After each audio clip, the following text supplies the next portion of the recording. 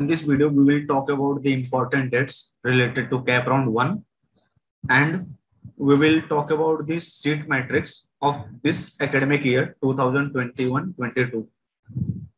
So let us see the important dates of CAP round 1. The final merit list has been already displayed on 27 November. CAP round dates has been given over here. Online submission and confirmation of option form of CAP round 1 by using the candidates login in between 28 November to 30 November. So in between 28 and 30 November, you have to fill your option form for CAP round 1. The provisional allotment of CAP round 1 will be displayed on 2nd December. Display of and provisional allotment of CAP round 1 will be displayed on 2nd of December. Now you have to accept your seat by using the candidate login in between 3rd December to 5th of December. If you are confirming your seat, if you are freezing your seat, that means you are taking the admission.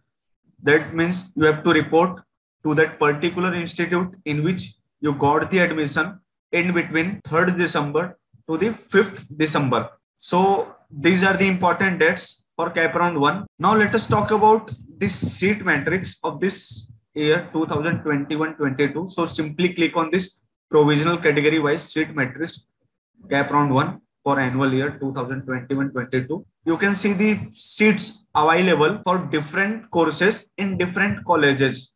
For example, if I'm searching Vidyavardhini's College of Engineering and Technology, I can see the seat distribution. The total number of seats available for civil engineering at lateral entry means for direct second year engineering admission is four, out of which the three seats are reserved for open category and one seat is reserved for this ladies open category. Now this is how you can see the seat distribution of any college for any particular. Here the course is civil engineering with the original College of Engineering and Technology. The number of vacant seats within the institute is four and for lateral entry the number of seats are three. Now lateral entry means admission for direct second year engineering. That is known as the lateral entry. Means after diploma if you're, if you're taking the admission that means the lateral entry. Now you can see the seat distribution over here for open category.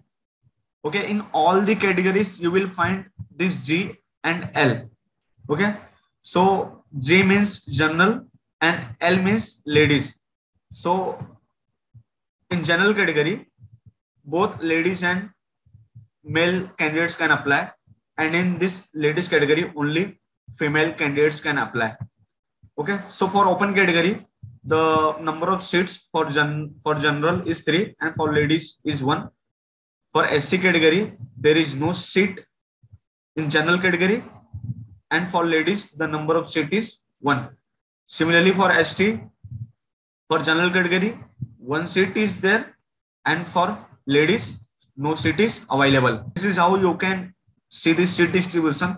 Now on the bottom side, you can find this total EWS seat is 3. That means economy weaker section seat is 3 over here for this particular course civil engineering.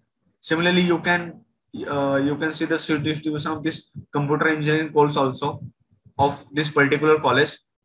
The total EWS economy weaker section is seat is 2 the vacant seat within the institute that is 3 and at the later entry the number of seats are 6 and this is how the seat is being distributed.